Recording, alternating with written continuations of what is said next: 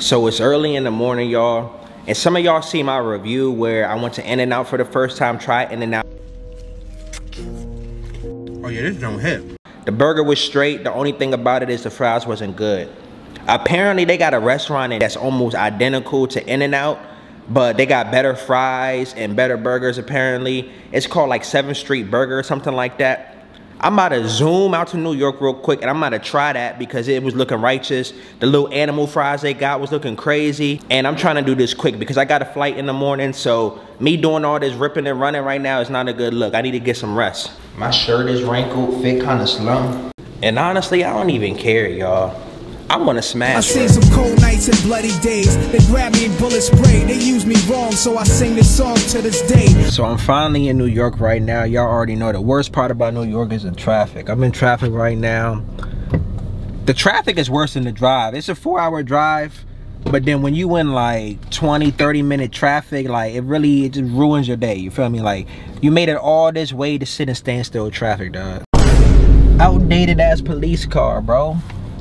They need some new rims on that bad boy. All right, y'all, so we in New York right now. We gonna see what's good with this 7th Street burger real quick. I ain't gonna lie, there's a long line outside this jump. Excuse me, y'all. Y'all see, there's a long line.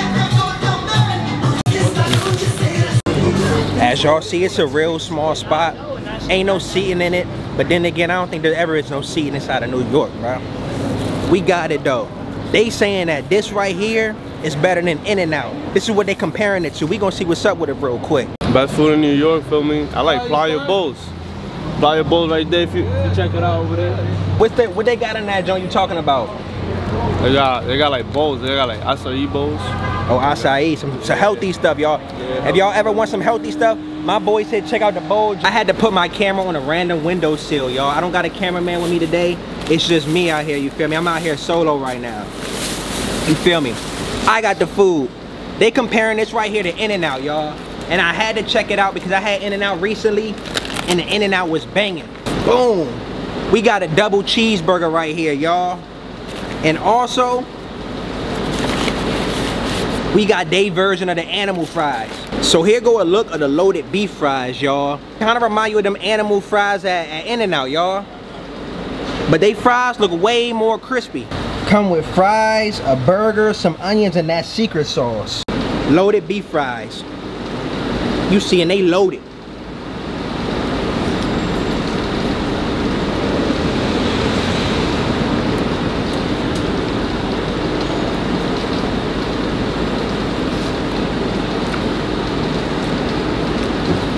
They got a good flavor to them, y'all. The sauce tastes almost identical to the sauce that they had at In-N-Out, y'all. They jacked them. Jacked them for their sauce. Me personally, I'm gonna get full off of these. So I wouldn't recommend getting a burger and getting the animal fries. This is a double cheeseburger. Then there's another patty right here. That's three patties right there. Plus you get all these fries and the sauce. So you know how many calories is in this shit? Too damn many. You know what I mean? I'm trying to lose weight, not gain it. They taste good though. They taste better than the fries in In-N-Out. That's for sure. And I think the reason why is because these fries got more flavor to them. They pretty crispy.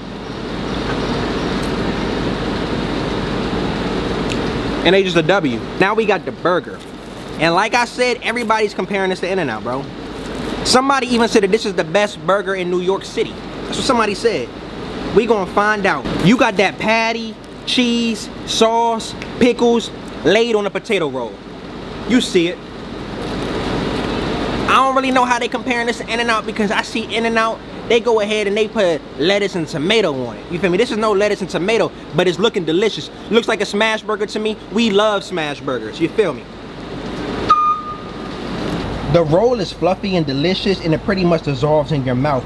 You see the patties is pretty thin, but the patty is pretty juicy. I personally like for my patties to taste like the grill.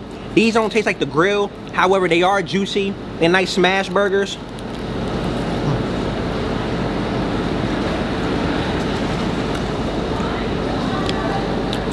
And the pickles and sauce complement it very well. This is a this is a pretty good burger. Although the burger doesn't come with a lot of toppings on it, it still has a decent amount of flavor to it. It's pretty good. Not gonna lie to you, I'm feeling it. I'm definitely feeling it. This burger is gonna get an 8.5 out of 10 for me. All right, y'all, so I'm walking into this random pizza shop real quick. I'm about to go ahead, I'm about to grab me one of them, uh, one of them Cokes real quick. I'm thirsty as heck. I ain't gonna lie to y'all, but the pizzas in this zone look, look all right. My man said all these pizzas right here is vegan, y'all. Vegan pizzas, he got the vegan options, all of that stuff. What would you recommend they eat? There's the vegan people. This neighborhood is working. Oh, you said this whole neighborhood's vegan? Yeah. Look, if you're vegan and you're looking for a place to live, my man right here, he said this whole area is for vegans. You feel me? They do not discriminate. They got vegan pizzas in this joint. I'm trying to tell you, they got some good pizzas in this joint. It look like it got some vegan barbecue sauce. And that's vegan steak? There's vegan barbecue chicken. Vegan barbecue chicken. How the fuck can chicken be vegan, bro? It ain't even chicken. How the chicken? You know what I mean? Chicken's an animal. Damn. Sheesh. Y'all see it. Basil pesto. Damn. I ain't gonna lie to y'all. I'm a huge fan of pesto sauce. I really wasn't even expecting on getting this right here, bro. I went in there to, to go ahead and get my drink. But the dude, he was cool in there, so I wanted to support him, y'all. So we gonna try out the artistic pizza real quick. The best back rubs for men and women. Sounds to me like they having a sausage fest in there. You know what I'm saying? Straight happy endings. Y'all see what we got here? We got that basil pesto pizza. Woo! John smelling good. It's that New York pizza. They say this is a big rich town. I just come from the poorest parts.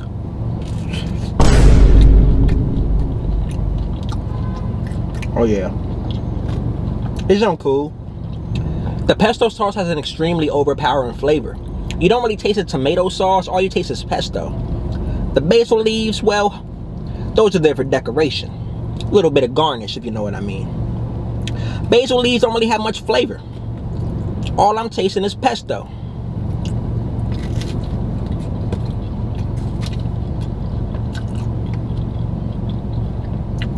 Not a whole lot of cheese. They threw a little bit of mozzarella on it, you see.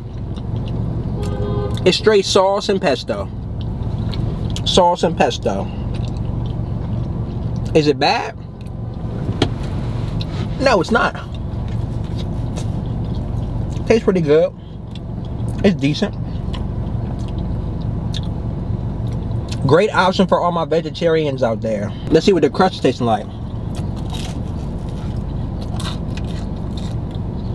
The crust got some crunch to it. However, the flavor kind of reminds me of DiGiorno's. I mean, some might think that's a bad thing. Some might say it's a good thing. This right here, yeah,